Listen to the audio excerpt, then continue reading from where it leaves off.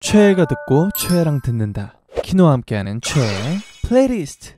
Hi FLO 안녕하세요. 저는 펜타곤의 키노 그리고 포즈로 첫 솔로 데뷔를 한 가수 키노입니다. 네 오늘은 저의 신곡 포즈 얘기 그리고 작업 behind까지 하나도 빠짐없이 들려드리겠다고 약속을 했는데 드디어 그 시간이 찾아왔습니다. 바로 키노의 포즈 listening 가이드 지금 가보겠습니다. 포즈 셀프 인터뷰 타임. 먼저 포즈라는 곡이 어떤 곡인지 소개를 해드릴게요. 누구에게나 사랑에 빠지는 순간이 존재하죠. 사랑에 빠지는 순간의 시간, 공간, 그 주변의 모든 것들이 굳고 마지막으로 이제 몸까지 멈춰버리는 포징 됐다고 생각을 했고요. 그 짧은 순간을 3분짜리 공구로 풀어낸 곡이 굉장히 트렌디하면서 아름답게 그 아름다움을 배로 보여주기 위해서 발레와 현대무용적인 그런 퍼포먼스를 보실 수 있습니다.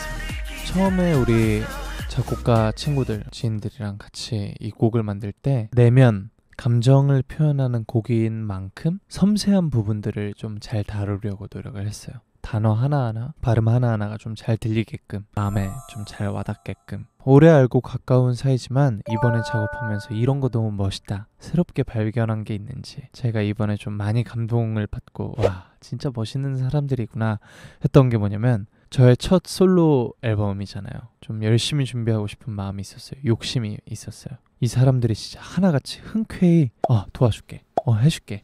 좀 예민하고 좀 자잘한 부분들까지 제가 요청한 것들을 다 너 솔로 앨범이니까 너 하고 싶은 거 다 하게 해줄게. 의지를 보여주면서 작업을 했던 게 저는 되게 고맙고 멋있게 보였던 것 같아요. 작업하면서 유니버스가 진짜 좋아하겠다. 빨리 보여주고 싶다. 느낀 순간 언제였나요?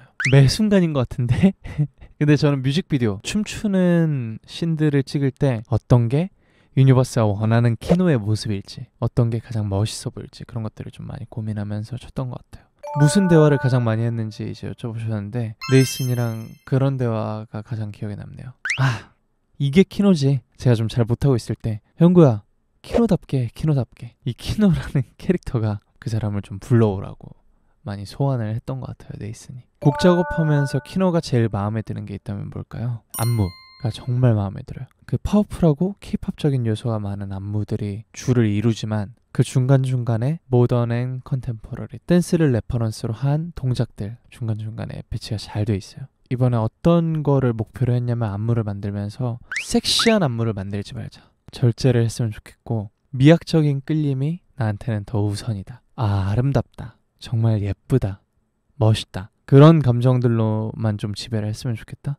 굉장히 포인트가 되는 부분입니다. 포즈는 나에게 뭐뭐한 노래다. 오프닝 오케스트라 같은 노래다. 근데 그런 음악들이 대부분 가장 wide하고 가장 힘을 많이 주게 돼요. 이 공연의 포문을 열어주는 만큼 이 공연의 첫 이미지 포즈는 저한테 그런 곡이에요. 솔로 아티스트 키노 싱어송라이터로서의 키노의 첫 발자취로 가장 적합한 곡을 만들기 위해서 정말 노력을 많이 한 곡이고 후회하고 부끄럽지 않은 앨범을 만들기 위해서 노력한 곡입니다. 이어서 작곡가 키노의 작업 스타일을 알아보는 시간이겠습니다.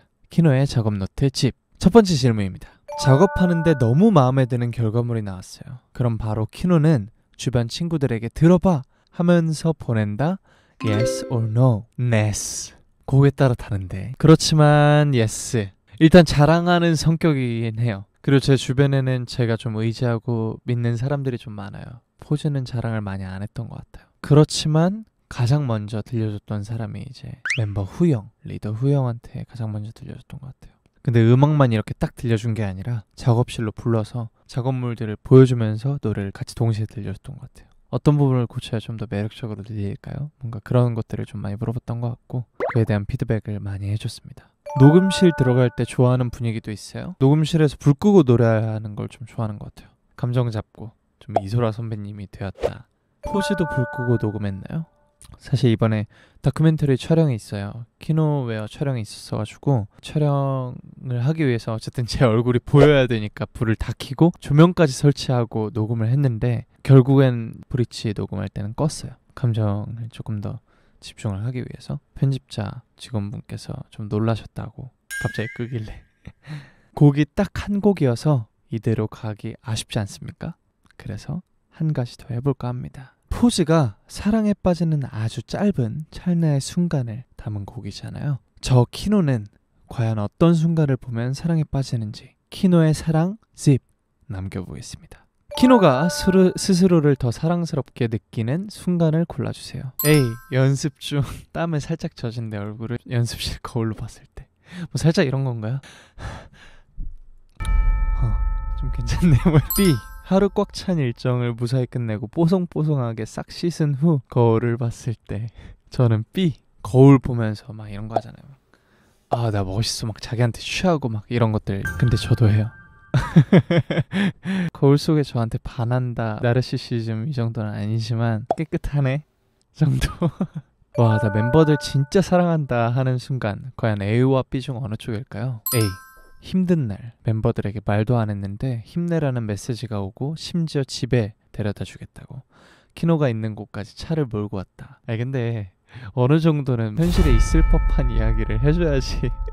B 역시 힘든 날 멤버들이 우리 키노 고생했다 수고했다 라면서 용돈, 용돈을 100만원 줬다. 둘 다 비현실적이니까 좀 낫네요. 저는 B번 고르겠습니다. 100만원. 감사해요 후이형 100만원 줄 사람 후이형밖에 없어요. 아마 신원형은 보증을 잘못 써서 망했다. 집에 빨간 딱지가 붙었다 이러면은 진짜 발벗고 본인의 전 재산을 털어줄 사람이지만 무턱대고 100만원 주면 왜? 싫은데? 그럴 것 같아요. 시로와 집에서 놀고 있어요. 둘 중 어느 상황이 더 사랑스러울까요? A 시로와 눈싸움 할 때, B 시로와 도망가기 놀이할 때. 제가 이렇게 표현을 했을 뿐이고 그냥 시로가 째려보는 것과 시로가 저한테서 도망가는 것. 저는 도망가기 할때 B로 고르겠습니다. 시로가 제가 음 시로 하고 안으려고 할 때 도망가요. 아나 좋아. 나한테 좀 와. 고양이가 그렇죠 뭐. 제가 사랑에 빠지는 순간들. 저의 첫 솔로곡 포즈 좀 다양한 주제를 가지고 2주 동안 여러분들과 최애 플레이리스트에서 말씀을 나눠봤는데 또 기회가 된다면 더 좋은 노래 들고 플로에 올 테니까 그때까지 여러분 모두 모두 건강하시고 저는 이만 인사드리도록 하겠습니다. 네 여러분 지금까지 키노였고요. 우리 다음에 또 만나요. 고맙습니다. 안녕.